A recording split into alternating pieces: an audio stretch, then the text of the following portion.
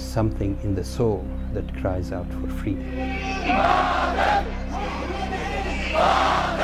People just realized, you know, I'm, I'm going to fight for my dignity and I'm going to fight for my country and I'm just going to go out on the street and, and, and get this done myself.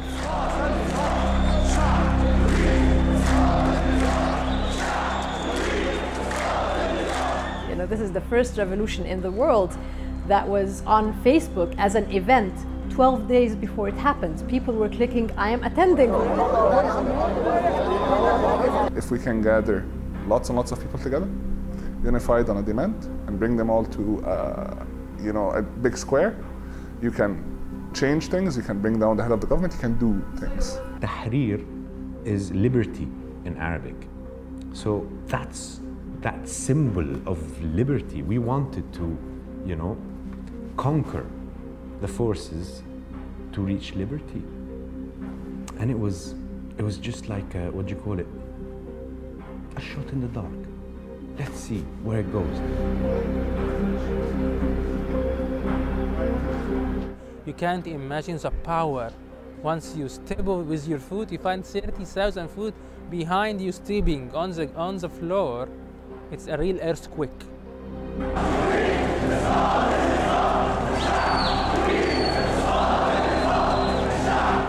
People were shaking the ground from their voices of, of fighting for their freedom. It was cross class, it was cross religion, it was cross generation. In all directions, I saw people, and this is when I realized it is a revolution. I was in the middle of it, and I never realized that it was happening. You know, they, they can't arrest us all. They can't go after every one of us. There is a price to be paid, and, uh, and we are willing to pay it.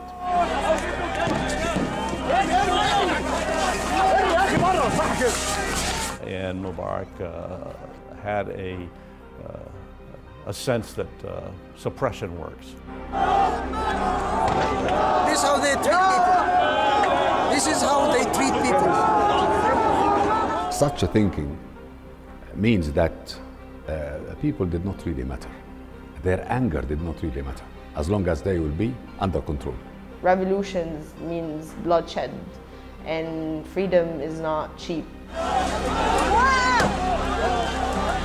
I knew at the time that um, the value of freedom was much stronger than their fear of being beaten or even being dead.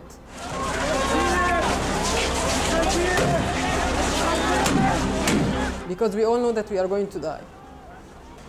How you are going to die is what makes all the difference. You go away with dignity or you go away with cowardice.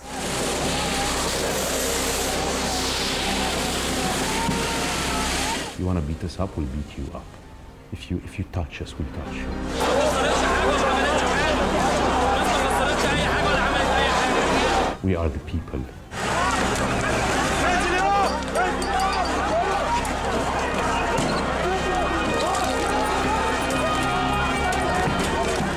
We're having a revolution now. We're not having a dialogue.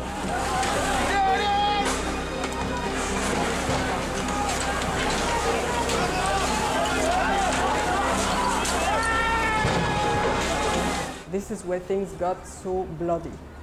And I'm talking live ammunition, not just rubber bullets. I'm talking about targeting civilians.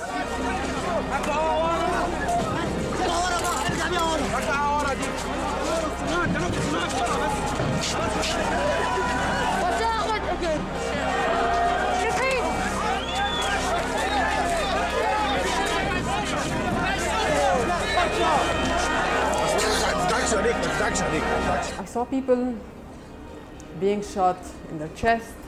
I saw people being shot in their stomach, in their uh, legs. Uh, I've never seen so much blood in my life. I've never seen any anything like this before. A man, right, standing right next to me, he got shot in the head.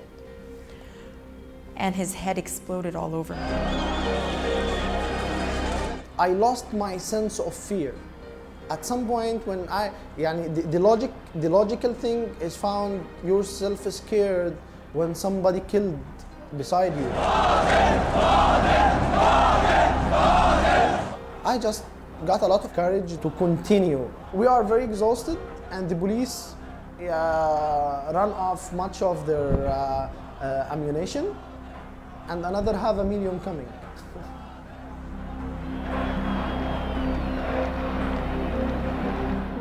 We are not the people that used to be. We are a new people now. 28th of January was the date fear died in Egypt.